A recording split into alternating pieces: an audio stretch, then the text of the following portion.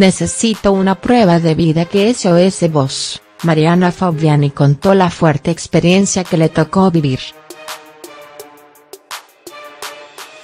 Mariana Fabiani está destinada a convertirse en una de las grandes divas de la televisión, la figura que, en un futuro no muy lejano, ocupará en Canal 3 el sitio que hoy ocupa Susana Jiménez en Telefe porque tiene su misma combinación de belleza, picardía y, lo más importante, la capacidad de conectar de manera inmediata con el público, porque hombres, mujeres y niños saben que ella es sincera como nadie más.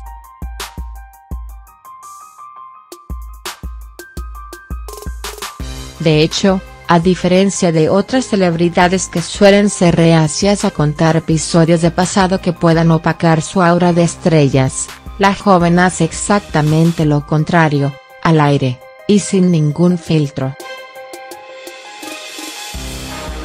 Por ejemplo, cuenta su experiencia como modelo cuando debió grabar un videoclip, que luego se haría muy famoso, con Luis Miguel, donde terminó prácticamente ahogada por la arena y luego, como si eso no fuera poco, debió salir de un mar helado, lo que podría haberle costado una pulmonía triple.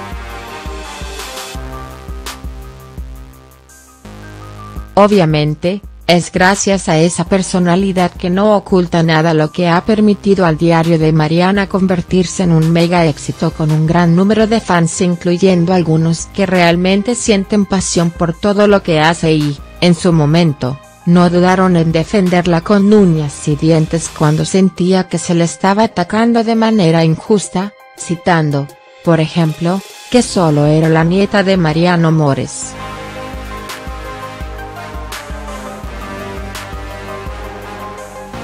De hecho, aunque muchas personas hoy lo hayan olvidado, cuando comenzó su carrera como modelo, Poca gente la conocía por su nombre y siempre la citaban asociada al de su famoso abuelo, compositor de innumerables piezas clásicas del tango como Taquito Militar o Cuartito Azul que todavía suenan en la radio no solo de Argentina sino de todo el mundo, en especial en Japón, donde el 2x4 es pasión.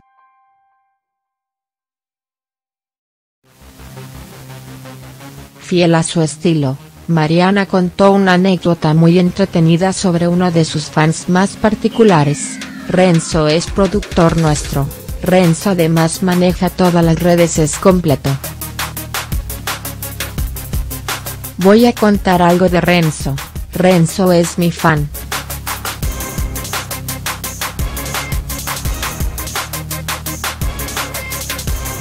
No voy a decir mi único fans porque tengo uno más.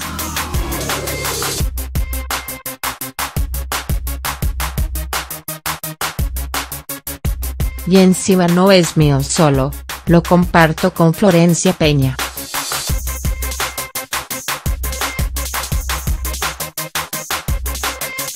Lo conozco a Renzo hace muchos años porque me defendió mucho.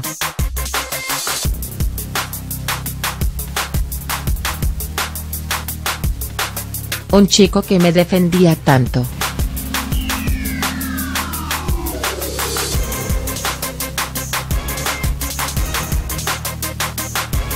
Le dije, no sé quién es SOS pero gracias.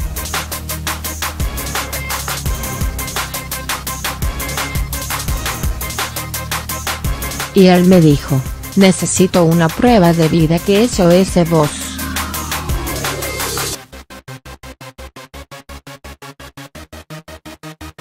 Me exigió que dijera algo, al aire, una palabra clave, para que él se diera cuenta. Yo le dije Renzo, cuando termines de estudiar te venís a trabajar conmigo et preguntarle si quiere más a Florencia o a mí.